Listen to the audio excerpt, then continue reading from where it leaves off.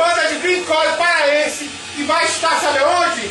Na segunda edição da noite das calcinhas do Metal Fest. Ano passado sua a primeira edição, eu estava lá cobrindo. Esse ano vai ter a segunda edição com uma parte banda. Só banda formada que um dos integrantes tem que ser feminino. Meu irmão, e a produção também dessa, desse, desse fest é toda feita por mulheres. Meu irmão, ano passado deu lotado e foi do caramba. Esse ano promete ser melhor ainda. Ei, meu irmão, é banda pra caramba. Bora, bora dar uma, uma conferida aqui, porque eu não posso decorar, é muita banda. É banda pra caramba, olha aí. É muita banda é banda pra caramba, é bacana.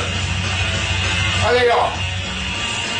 Petals Blade, Black Ladies, Clitoris Caos, Cavalo do Cão, Valkyrias, Caziclã, Zeite, Criatura de Simba, Horus e Mademoiselle. Ei, meu irmão, muita banda e todas as bandas têm que ter meninas na formação. Além das bandas, ainda vai, ainda vai ter é, é, umas por lá. O pessoal do Velho Casa vai estar por lá. E o pessoal do Brownie do Porã vai estar por lá também. Eu já estou até pensando em fazer um vídeo do Orinda de Labroquita lá e garantir a minha broca. Ei, irmão, noite das calcinhas do metal, dia 26 de março, sábado, sabe aonde? Lá no Centro Histórico.